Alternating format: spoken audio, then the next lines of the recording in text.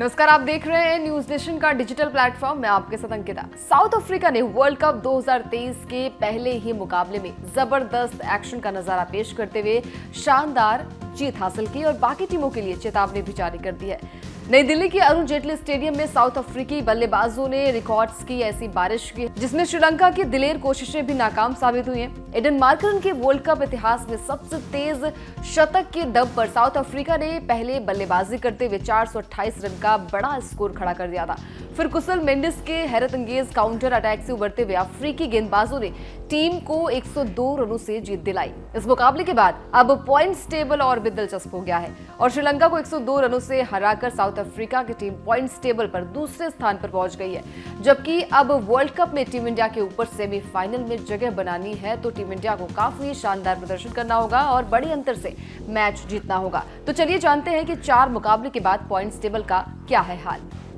South Africa और श्रीलंका के बीच खेले गए दिल्ली के मैदान पर मुकाबले में साउथ अफ्रीका की टीम ने 102 रनों से बड़ी जीत हासिल की है और पॉइंट्स टेबल पर दो अंक बटोर लिया है। आपको बता दें कि एक बड़ी जीत के बाद अब पॉइंट्स टेबल पर साउथ अफ्रीका दूसरे स्थान पर पहुँच गई है। वहीं करारी हार के बाद श्रीलंका की टीम पॉइंट्स टेबल पर नौवे स्थान पर है। जबकि बात करें साल 2015 वर्ल्ड कप और 2019 वर्ल्ड कप के फाइनल मुकाबले में जगह बनाने वाली न्यूजीलैंड टीम की तो उस साल भी अपने पहले मुकाबले में शानदार प्रदर्शन किया है और इंग्लैंड जैसे चैंपियन टीम को नौ विकेट से हराकर एक आसान जीत हासिल की है। इंग्लैंड को हराकर न्यूजीलैंड की टीम पॉइंट्स टेबल पर पहले स्थान पर है और टीम का नेट रन रेट जो है वो दो प्लस रहा है, जिसमें टीम को आगे ग्रुप के मैचों में काफ़ी फ़ायदा मिलने वाला है। श्रीलंका के खिलाफ 102 रनों से बेहतरीन जीत के बाद अफ्रीकी टीम का रन रेट काफ़ी अच्छा हो गया है, जिसके चलते टीम इंडिया को परेशानियों का सबक करना पड़ सकता है।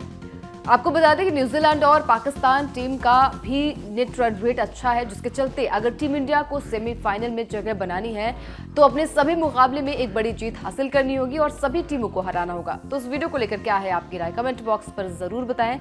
वीडियो पसंद आया हो तो लाइक, शेयर करना ना भूलें। अगर आप ये वीडियो हमारे यूट्यूब चैनल पर देख रहे हैं तो चैनल को सब्सक्राइब कर लें। साथ ही साथ फेसबुक या फिर इंस्टाग्राम पर ये वीडियो देख रहे हैं तो चैनल को फॉलो ज़रूर कर लें, ताकि एक भी खबर मिस ना होने पाए।